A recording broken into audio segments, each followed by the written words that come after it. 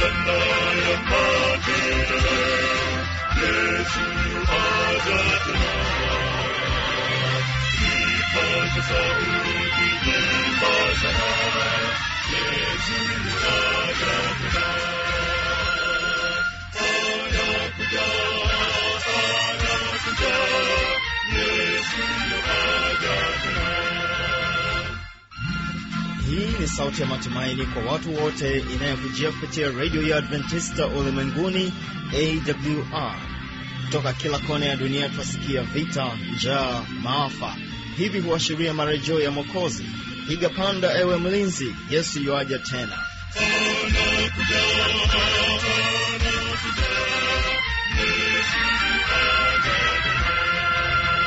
Unaitegea sikio idhaa ya Kiswahili ya redio ya Waadventista ulimwenguni AWR ikikutangazia kutoka Morogoro, Tanzania, katika masafa ya mita bendi 19, lakini pia waweza kutupata kupitia Morning Star Radio. Vilevile vile, tupo katika tovuti ya www.awr.org. Mpendwa msikilizaji, ni imani yangu ya kwamba hali yako ni njema, na kwa wakati huu nakukaribisha katika kile kipindi chako kizuri, kipindi ambacho unakifurahia, naamini hivyo kipindi cha sera za ndoa ndani ya studio. Jina langu naitwa Habi Machilumshana.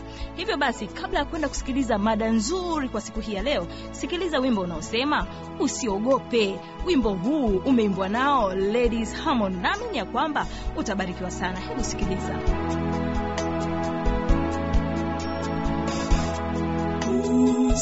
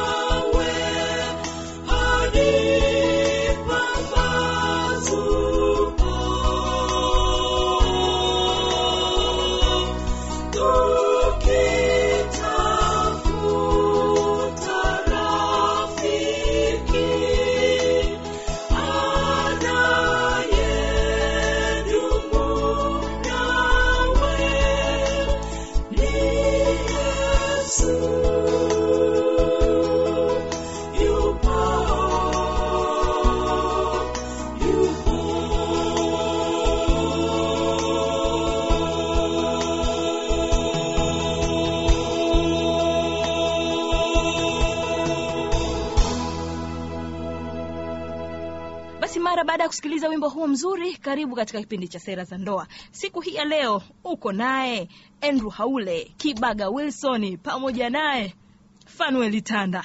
Basi sote kwa pamoja tuliweza kushirikiana kwa ajili ya kipindi hiki kufanikisha swala zima hili linalohusiana na kifo, kwamba je, kifo ni jambo ambalo linafahamika lipo, wanandoa huwa wanalizungumza? Hebu sikiliza, naamini ya kwamba utabarikiwa sana.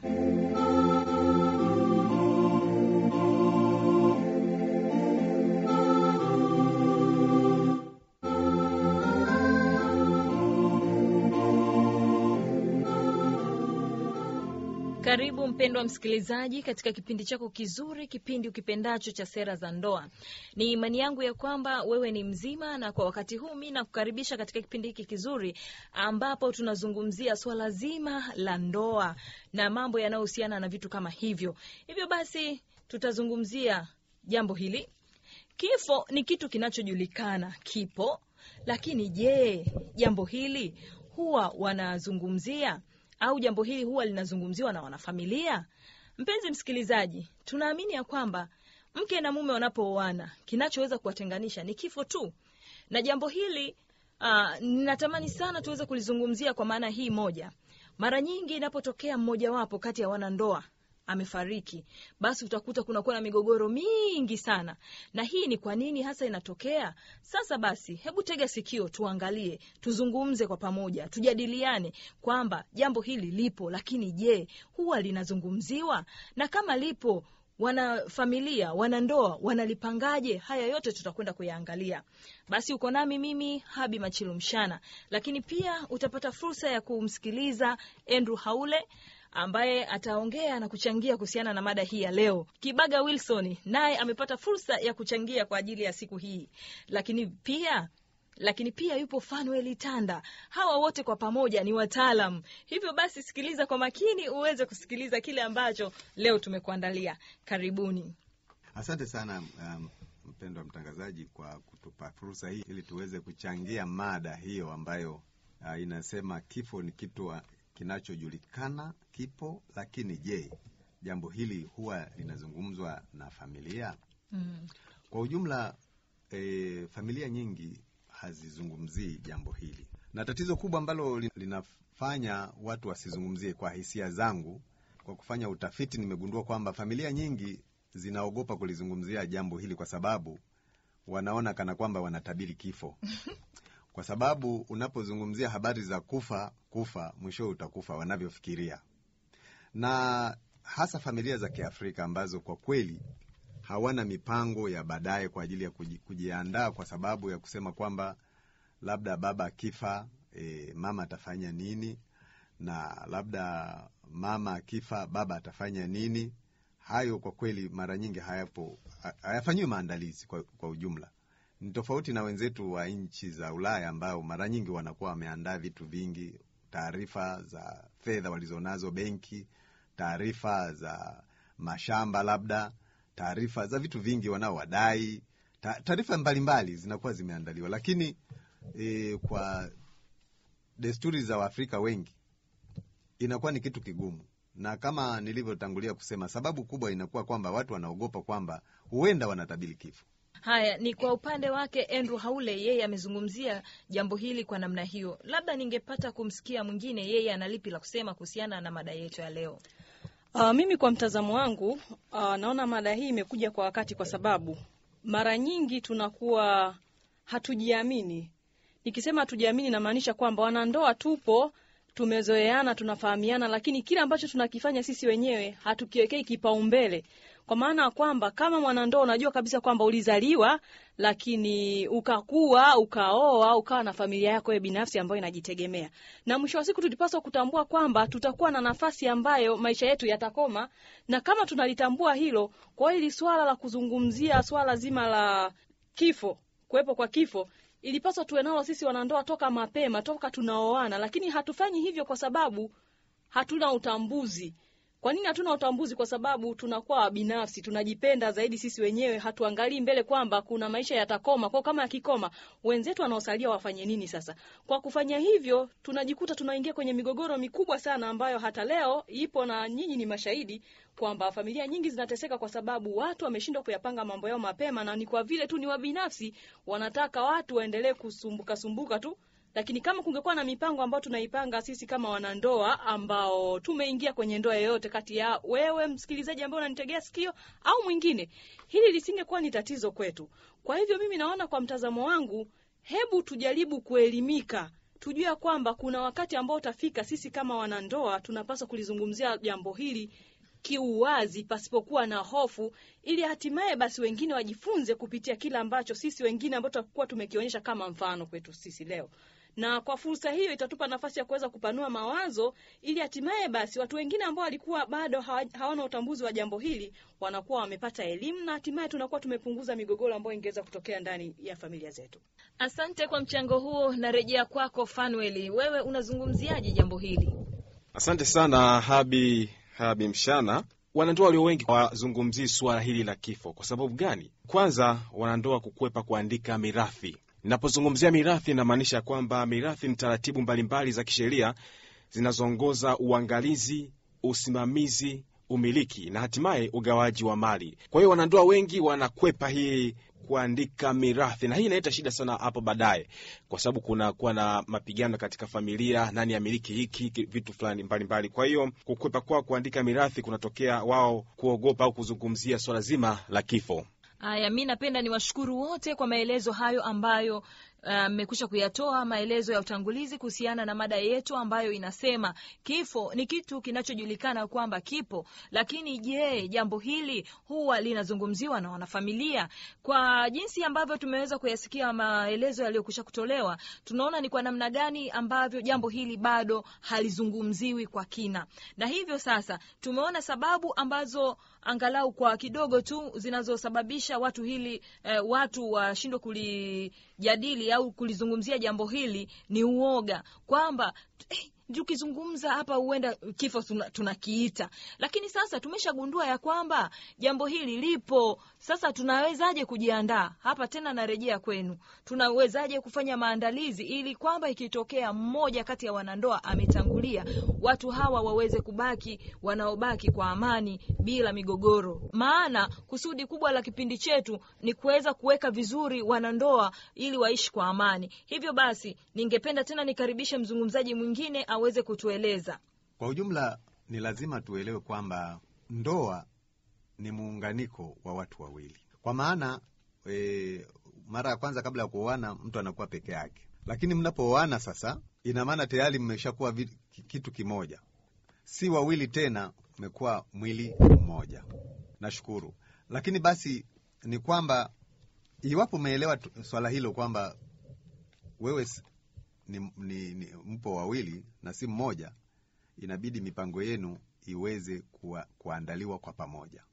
Kwa mfano, kitu cha kwanza kama alivyosema uh, ndugu Tanda pale Pano litanda kwamba inapaswa kuwepo na maandalizi ya kuweza kuandika labda kwamba nikifa nita kuna vitu kadha na wa kadha viko hapa labda kuna mali yangu iko sehemu fulani.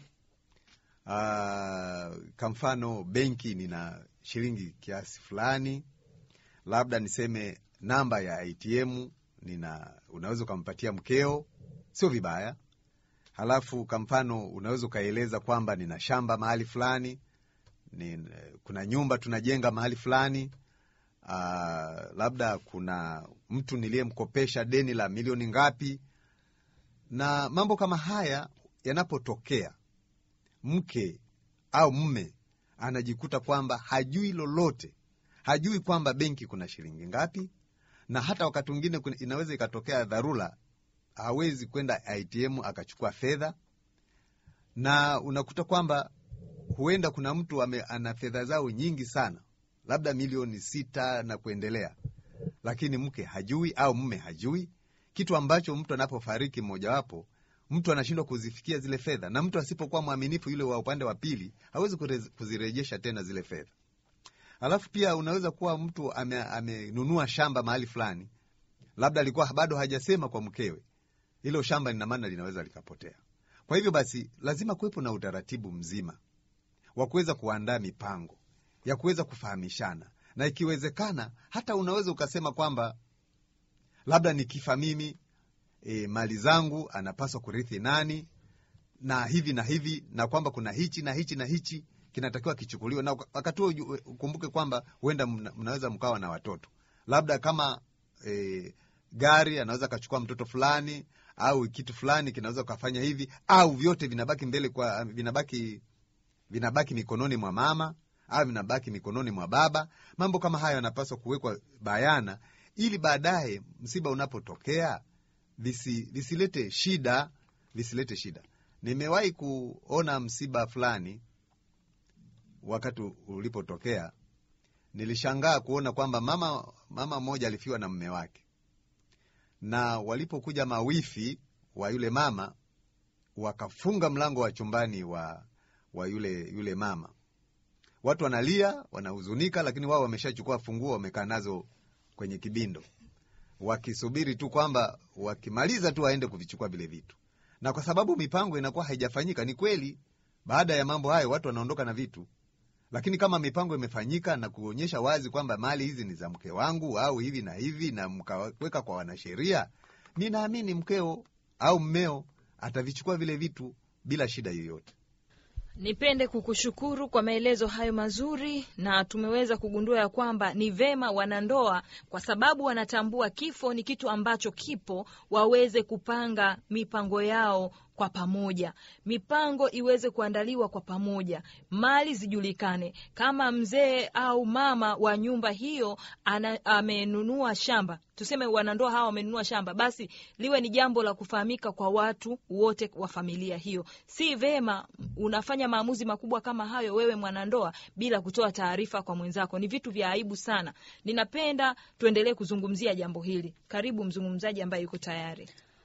Mi naona pia kuna kitu kingine ambacho kwa upande wangu nakitazama kivingine kidogo Mm. kwamba wanandoa hawa wanapaswa kujitambua, lakini sio tu wanandoa hawa ambao wako kwenye hii ndoa, hata jamaa yao ambayo inawazunguka, kwa sababu kimsingi tunapozungumzia hili swala tayari tunagusa na ile jamii ambayo inatuzunguka sisi ambao ni wanandoa na tunapolitazama hili kwa mtazamo huu, nampenda nizungumzie sana kwa upande wa wale ambao wanatutazama sisi kama wanandoa baada ya kuondoka. Uh, tunaposema kwamba kunakuwa na tatizo ambalo halizungumziwi hapa katika familia, mwisho wa siku tunakuja kuona kwamba kutokuzungumza kwao hawa kunaleta athari kwa wale watu ambao ni wa familia hii, lakini kupitia ile jamaa ambayo inawazunguka. Labda ambacho mi ningependa kuomba kwamba jamii fahamu hili, mpenzi uh, mtangazaji, ni kwamba familia inayotege inayowazunguka hawa wanandoa inapaswa kujitambua, kwa sababu kimsingi uh, mtu anapokuwa ameamua kuanzisha familia yake, tumesema kwamba inakuwa ni kitu kimoja, na kama ni kitu kimoja, ina maana hatutegemei tena wale ndugu ambao wanatuzunguka. Ina maana maamuzi yatakuwa yakitoka katika familia hii moja ambayo imeungana kwa pamoja.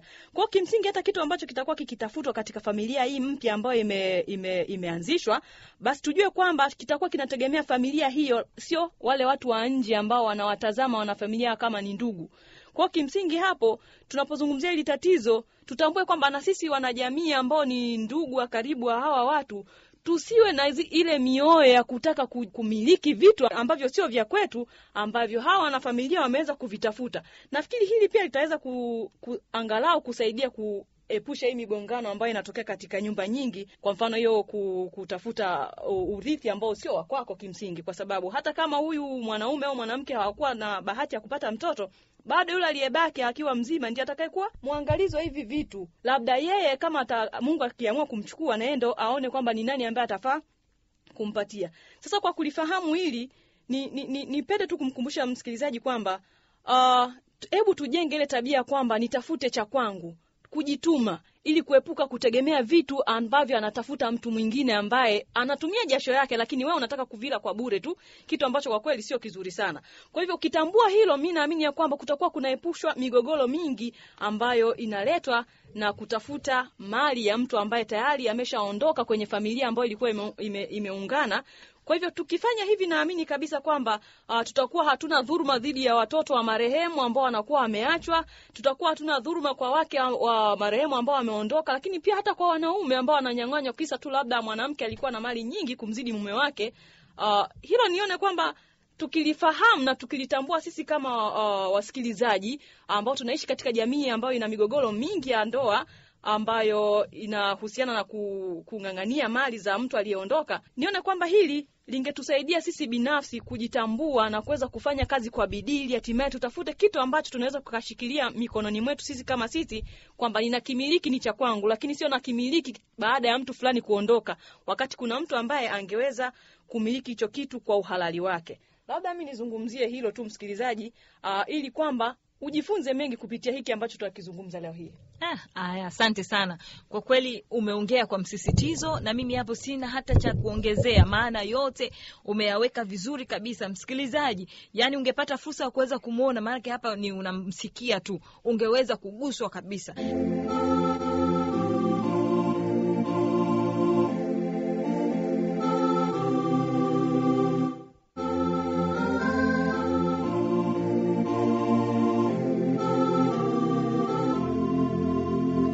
Mara baada ya kusikiliza mada nzuri katika kipindi hiki cha sera za ndoa, naamini msikilizaji wangu utakuwa na swali, pengine una changamoto fulani. Usikose kuwasiliana nasi kupitia anwani hii hapa, Redio Adventista Ulimwenguni, AWR, sanduku la posta 172, Morogoro, Tanzania. Anwani yetu ya barua pepe ni kiswahili at awr org. Namba zetu za mawasiliano ni kama zifuatazo: simu za kiganjani namba 0767 50 68 82 au 0784 29 72 97. Ukiwa nje ya Tanzania, kumbuka kuanza na namba kiunganishi alama ya kujumrisha255 Unaweza kutoa maoni yako kupitia Facebook kwa jina la AWR Tanzania. Basi na kwa kufikia hapo, kipindi hiki kwa siku ya leo kimefikia tamati yake. Naamini ya kwamba umebarikiwa, nami sina la ziada, bali ni kukwambia amani ya Bwana iwe pamoja nawe na utege sikio kwa vipindi vingine vinavyoendelea.